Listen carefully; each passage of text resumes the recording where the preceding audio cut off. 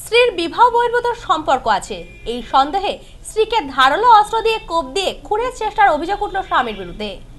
অভিযুক্ত স্বামীকে গ্রেপ্তার করেছে পুলিশ। একাধিক পুরুষের সঙ্গে স্ত্রীর বিবাহ বহির্ভূত সম্পর্ক রয়েছে।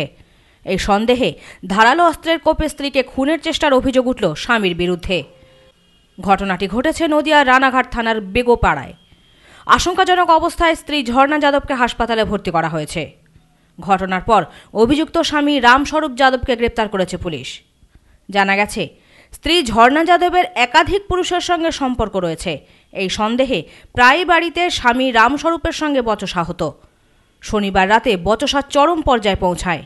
অভিযোগ, সেই সময় স্বামী হঠাৎই ধারালো অস্ত্র নিয়ে স্ত্রীর উপর আক্রমণ করে। তাকে এলোপাথারি কোপাতে থাকে। চিৎকারে ছুটে আসেন প্রতিবেশীরা। এরপর পালিয়ে যায় অভিযুক্ত। খবর দেওয়া হয় থানায়। পুলিশ এসে ঝর্ণা দেবীকে উদ্ধার করে হাসপাতালে ভর্তি করে। আহতের মেয়ের অভিযোগের ভিত্তিতে অভিযুক্ত রামস্বরূপকে গ্রেপ্তার করেছে।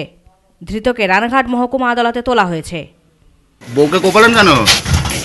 ওই ওটার সামনে আর কি করল? হ্যাঁ? যে রকম করল কি করল?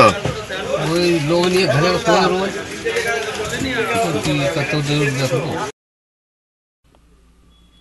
ব্যুরো রিপোর্ট নিউজ ডোম্যান্সল্যান্ড রানাঘাট।